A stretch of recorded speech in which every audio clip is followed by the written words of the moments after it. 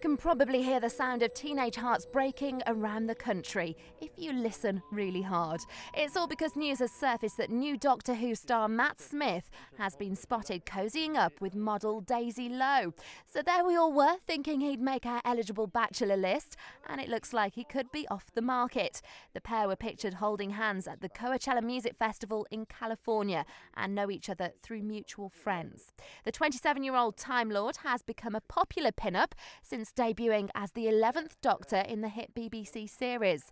But here's some news to hang on to if you are a fan.